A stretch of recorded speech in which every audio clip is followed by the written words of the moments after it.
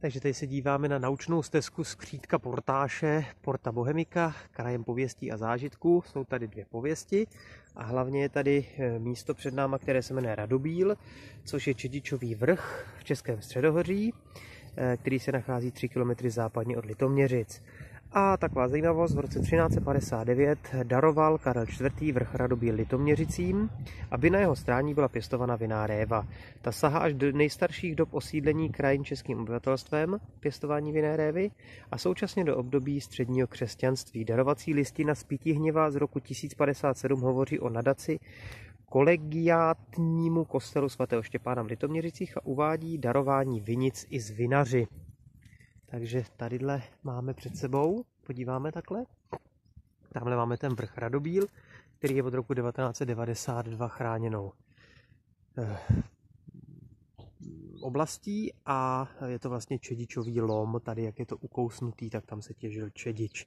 Takže my se tadyhle po té cestě teďka po žlutý půjdeme podívat nahoru na vrcholek. Takže po takovýhle jílovatý stezce nic hezkýho se vystupuje takovou vinou stezkou, protože tadyhle, jak je vidět, tak jsou, ano, keře vinné révy, ale zároveň... Hele pes! Cože? Jde tam ten dole. Ježíš Maria. Takže tady je vidět, že jsme skutečně na litoměřické vinařské stezce pod Čedičovým vrchem Radobíl. Ten je výraznou dominantou Litoměřic a blízkého okolí byl využíván na těžbu kamene v minulosti a je přístupný ze žalhostic. Tadyhle máme mapu a tadyhle máme vinařství pod vrchem Radobíl a Radobíl.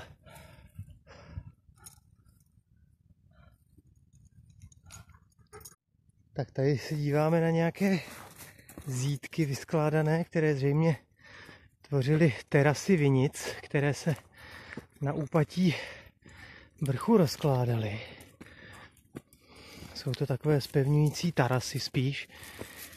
A tady už máme takový závěrečný stoupání asi, kdy už vlastně jsme se přiblížili k tomu samotnému vrcholu. Takže ty terasy nás teďka zřejmě budou provázet. Tady dokonce je i nějaká vytvořená zřejmě jímka vyzděná těma kamenama. Byly tady lomy, takže něco mohlo být i součástí zázemí lomů a podobně. My jsme teďka dostali vlastně do toho vytěženého prostoru, který je tady takhle rovnej a tamhle vidíme vrcholek Radobílu a tady vidíme nějaké betonové záležitosti ještě, které samozřejmě s lomem spolu měly co dočinění.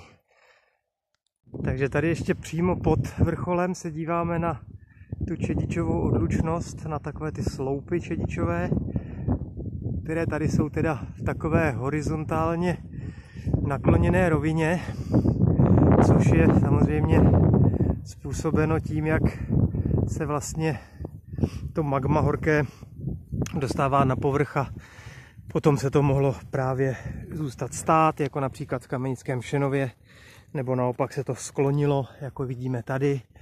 A jsou to takto šikmé prostředku a tam na kraji už téměř vodorovné vlastně linie. Tadyhle jsou zase téměř stojící, takže ten kopec se nám nějakým způsobem po vyhřeznutí ven začal pohybovat a stalo se to, co se stalo, že se takhle naklonila každá část jinak.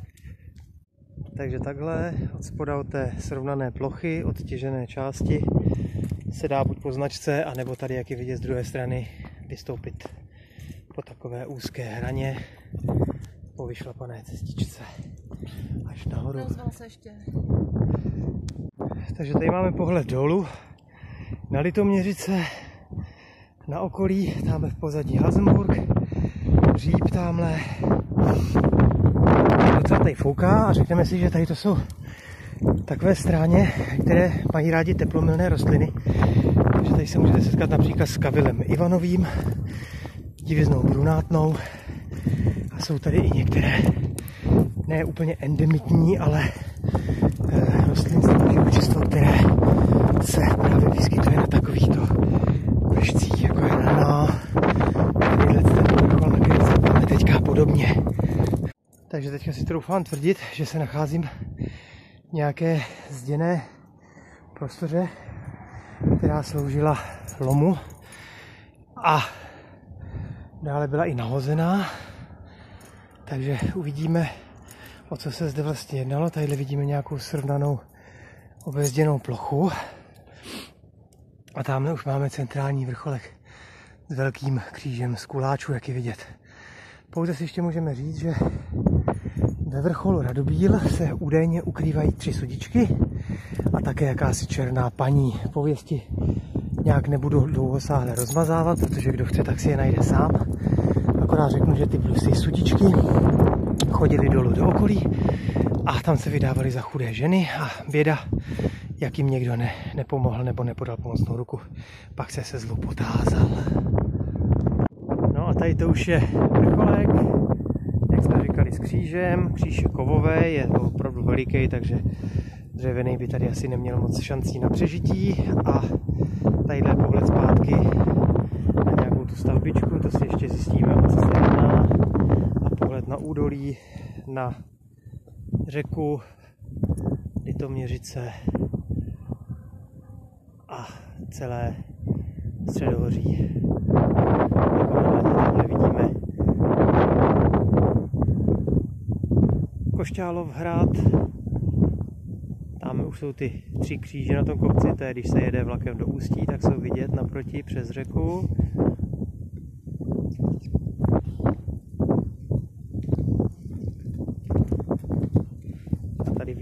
Triangulační Takže tady ještě při sestupu další nějaké záležitosti, které měly eh, společný eh, něco s lomem, který tady byl na Čedič.